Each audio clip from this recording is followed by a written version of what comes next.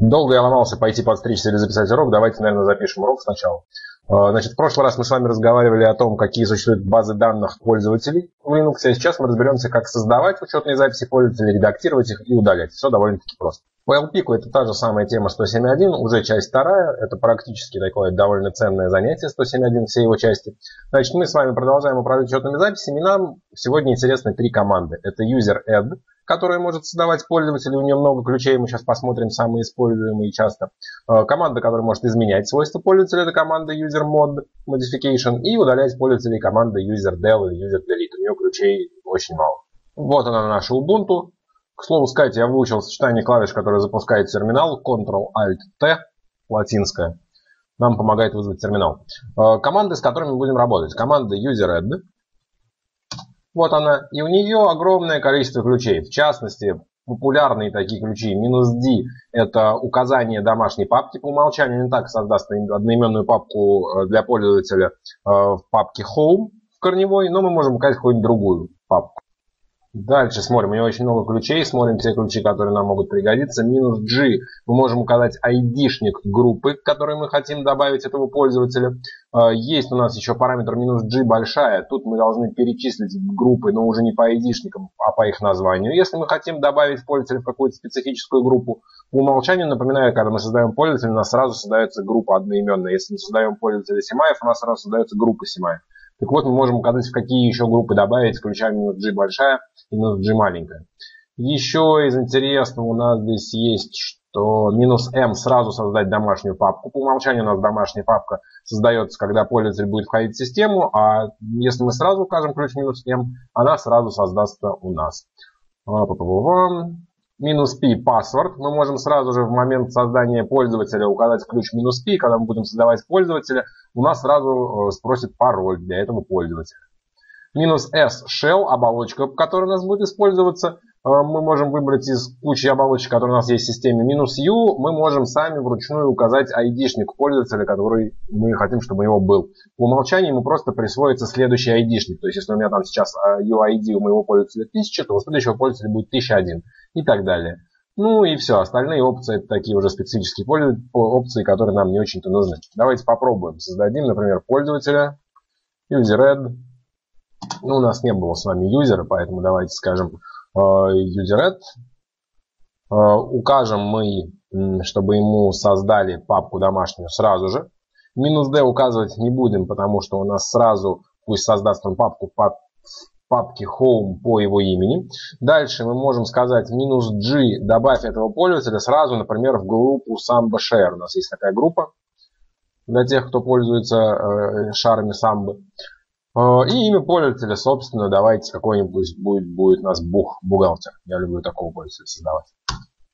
Permission denied, само собой, да, создание пользователя, все работы с пользователями только выполняются от имени суперпользователя. Указываю я свой пароль. Отлично. И вроде бы говорит то, что создал. Давайте глянем. Вы знаете, что у нас есть файл etc password. Мы об этом говорили на прошлом уроке. И мы знаем то, что у него в конце, так, G большая, э, новый пользователь появился, бух, вы видите, X говорит о том, что у него пароль будет храниться в нашей папке с теневыми паролями, в смысле в файле теневых паролей. 1001 ID-шники у него создались по умолчанию, Homebook – это его домашняя папка по умолчанию. Меня смущает то, что у него здесь не появилась оболочка. По идее, мы можем указать, какая оболочка будет запускаться. А, ну, давайте сначала поглядим все-таки, как выглядит его пароль. Мы же пароль еще не создавали. И все остальное посмотрим. А, значит, смотрим файл с теневыми паролями. etc shadow. Идем в самый низ. И видим то, что есть бух, и видите, у него восклицательный знак стоит. Я вам в прошлый раз говорил о разнице между восклицательным знаком и звездочкой. Значит, восклицательный знак говорит о том, что учетная запись отключена, но в принципе может быть включена. Звездочка говорит о том, что у нас в принципе учетная запись не используется для традиционного входа в систему. Давайте, наверное, сразу еще мы с вами поглядим э, группы, в какие входит этот пользователь. Тут мы можем воспользоваться без прав суперпользователя. Вимом. А, куда мы его там добавляли? Samba Share мы его добавляли. Вот в папку, э, в группу Samba Share теперь помимо меня входит еще пользователь Бух. Ну и само собой для пользователя Бух создалась одноименная группа Бух. Вот она. И он в нее тоже сам входит. Если пользователь входит в свою собственную группу, у нас вот здесь вот пусто в конце. Это все нормально. Давайте попробуем установим пароль для этого пользователя. Скажем, опять же, superuser.do. И есть команда такая password. Password э, для пользователя бух. Э, просит ввести новый пароль для пользователя. Давайте введем раз, два, три, четыре, пять, шесть. Раз, два, три, четыре, пять, шесть. Все произошло успешно. Давайте снова посмотрим теневые теперь пароли. Самый низ. И видим то, что да, у пользователя теперь появился у буха вот такой вот сложный, хитрый, зашифрованном виде пароль. То есть пароль него от 1 до 6, но вы видите, вот так вот их э, система зашифровала этот пароль. И к слову сказать, пока мы с вами говорим о команде password, мы вот с вами написали password бух, мы можем этой же командой сменить пароль себе. То есть password, вот так вот просто ее набрать, нажать Enter, и он скажет то, что давай введи, пожалуйста, свой текущий пароль, вот я сейчас его введу, и введи новый. Я введу такой же пароль, он даст ошибку, так что ничего страшного. Долго я отсюда выходил. А, так что командой password можно сменить пароль самому себе. В Windows мы для этого нажимаем Ctrl-Delete и на экране блокировки нажимаем сменить пароль. В Linux у нас просто команда password. А, давайте посмотрим. Я, по-моему, указывал, чтобы у нас э, создавать домашняя папка для пользователя Бух. Проверим. А, посмотрим содержимое папки Home корневой. И видим то, что теперь у меня, да, здесь помимо папки ESMI есть еще папка Бух, потому что я указал минус D ключ. А, но при этом не указывал полный путь к папке, потому что по умолчанию она и так создается в домашних пап папке Home, где хранятся все остальные домашние папки. Так, user add мы команду с вами смотрели, паспорт мы команду посмотрели. Давайте теперь поглядим команду user mod. А, а кстати, давайте сразу поглядим. Мне стало интересно, теперь у меня какая оболочка все-таки используется не указывает, какая оболочка используется по умолчанию, это не очень хорошо. Я сейчас подумаю, из-за чего это происходит. Пока поменяем свойства пользователя. Давайте, значит, скажем superuser.do. Опять же, нужно нам права суперпользователя, чтобы что-то менять с пользователем.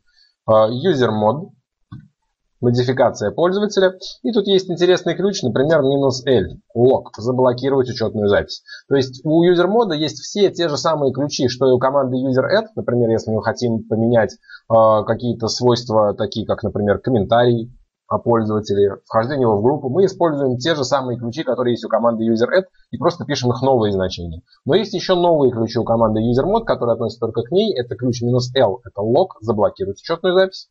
Например, вот так вот вермут минус L бух. И теперь, по идее, у нас лишний слэш я нажал. Теперь у нас, по идее, пользователь не может войти в систему. Я не знаю, как это отразится на его пароле. Давайте глянем, интересно. Superuser do mini etc shadow. Вот как теперь это выглядит. Видите, теперь у него пароль хоть и есть, он и запомнен, но перед ним стоит восклицательный знак. То есть пользователь, учетная запись его заблокирована, Пароль сохранен, но пользователь не может войти в систему. Я не знал, то, что именно так он это записывает. Я думал, он просто заменит на восклицательный знак, но он, оказывается, еще и пароль запоминает. Прикольно. А, и теперь мы можем, например, взять и обратно пользователя отблокировать. Если тот был ключ lock, теперь ключ unlock. Минус u бух. Снова проверяем метод shadow.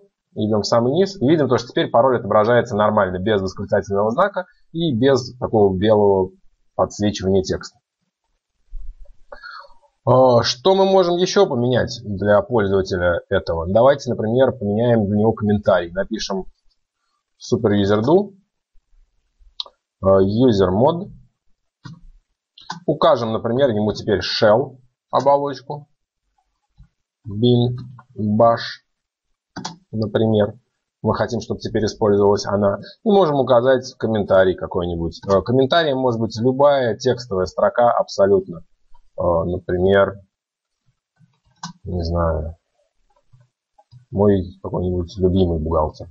Что-нибудь такое. Не уверен, что я favorite правильно написал, но будем надеяться. А, и, собственно, к какому пользователю относится эта команда. Пользователь у нас бух. Отлично, проверяем. Где мы последний раз смотрели? ETC паспорт, базу данных пользователя. Идем в самый низ. И видим то, что для буха у него айдишник тоже самый остался. Появился комментарий My Favorite. И появился, собственно, появилась информация о том, какая оболочка будет использоваться при входе в систему. Я, наверное, сейчас, когда урок этот допишу, откачу снимок, снова создам пользователя с командой по умолчанию UserNet, когда у нас вот эта вот оболочка не создалась. И попробую войти в систему, посмотрю, к чему это приведет, чтобы вас сейчас уже на это не отвлекать. И последняя команда, которую мы должны знать, это userdel. Опять же, super user do. userdel. А, и у userdel обычно используется просто вот так вот.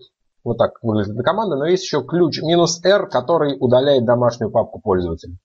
Давайте мы ее, наверное, удалим. А, и посмотрим, удалилась ли папка, потому что мне не понравился вот этот вывод. ls home minus l. Нет, папка удалилась, все в порядке. Пусть не переживает про почту и про спулер, папка удалилась, все здорово. Не можем, конечно, посмотреть опять же ETC password, чтобы убедиться, что пользователя бух у нас больше нет. Вот мы в конце, пользователя бух больше нет, айдишники освободились. Теперь, когда я создам нового пользователя, у него снова будет 1001 айдишник. Потому что старого пользователя с этим айдишником уже у нас в системе нет. Подводим итог. Значит, у нас для работы с пользователями есть какие команды? Есть команда user add, и в ней есть очень много ключей, которые позволяют указать комментарии, в какую группу входить, какие айдишники задавать, э, какие папки создавать, куда что ведет, какая оболочка и так далее. Э, есть э, отдельно сразу же в этой команде ключ минус P, который позволяет ввести пароль прямо в диалоге создания пользователя. И есть отдельная команда password, password, который задает пароль пользователю. Она же используется для установки пароля самого для себя, для смены собственного пароля. Дальше есть команда userMod, изменение свойств пользователя, который использует все те же самые ключи, которые есть у команды userN, и тем самым может менять свойства пользователя. И э, у нее еще есть ключи минус L и минус U, то есть log и unlock. Заблокировать учетную запись и разблокировать учетную запись. И последняя команда, о которой мы говорили, это userdel, команда, которая удаляет пользователя. И у нее, среди прочего, есть еще ключ минус A, R, которая латинская, э, которая позволяет удалить домашнюю папку пользователя, где бы она ни находилась, как бы мы ее там не указали в самом начале. Так что, по-моему, довольно все просто. Три таких простеньких команды, которые вам всегда могут пригодиться.